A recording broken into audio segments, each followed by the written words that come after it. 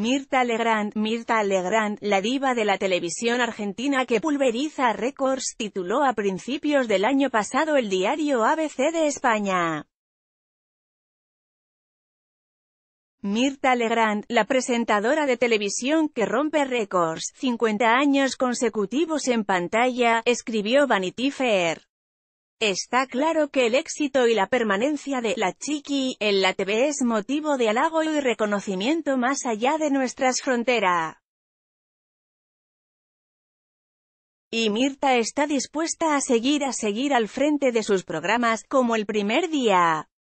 Después de haberse tomado apenas dos semanas de vacaciones, hoy a las 22 la diva volverá a ponerse a conducir la noche de Mirta en el 13 desde el Hotel Costa Galana de la ciudad de Mar del Plata, donde se encuentra alojada desde hace unos días. En principio y si es que el canal no le pide que se extienda un poco más tendrá su programa nocturno de los sábados y su clásico Almorzando con Mirta Legrand, los domingos, hasta el 17 de febrero inclusive. Una semana después, el 23, Mirta, quien durante mucho tiempo ocultó su edad cumplirá 92 años.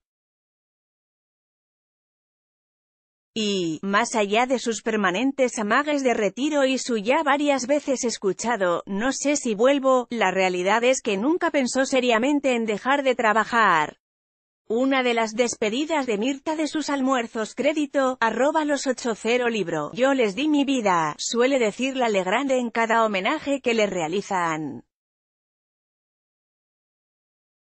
Y es verdad, ya que de lo único que se lamenta es de haberle dedicado poco tiempo a sus hijos, Marcela y Danielito Tinaire, por abocarse al trabajo. Pero también es cierto que ella no podría vivir sin esta rutina que tanto ama y que la obliga a mantenerse informada y a lucir espléndida todo el tiempo. De hecho, todavía hay muchos que se sorprenden al ver la vitalidad de Mirta, quien aprovecha su estadía en Marvel para ir a ver todas las obras de teatro que allí se presentan. Ella lo hace no solo por placer, sino también por una cuestión de reciprocidad para con los invitados que se sientan en su mesa. Mirta Legrand en el teatro, Verónica Germán, sin embargo, cada visita de la diva a un espectáculo implica una gran producción de su parte en lo que a maquillaje y vestuario se refiere, además de una muy buena predisposición para interactuar con el público, que al encontrarse a la Legrand en la platea suele cambiar el foco de su mirada. También implica la casi obligatoriedad de Mirta de responderle a la prensa que, al enterarse de su presencia en una sala, acude para preguntarle sobre todos los temas de actualidad.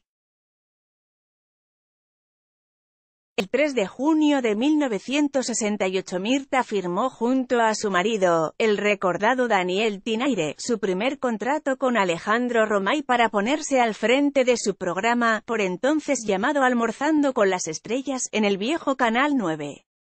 Dado el protagonismo de la diva, el ciclo comenzó a llevar su nombre y se convirtió en un clásico de la televisión argentina.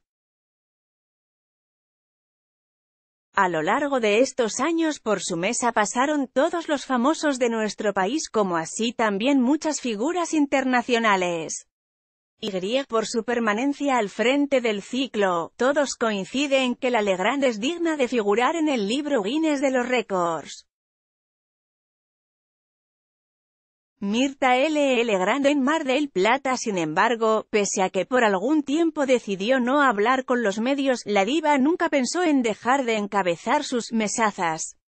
Hubo sí rumores que hablaba de un cambio de pantalla para la Legrand y daban cuenta de que su programa podría desembarcar, nuevamente, en la pantalla de América.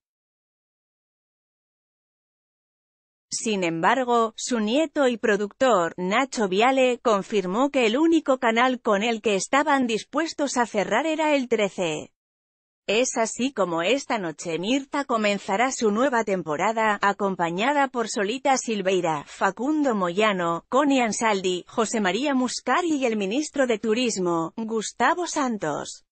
Punto. Y lo hará, tal como ella quería, desde esa ciudad balnearia que cada verano se engalana con su presencia.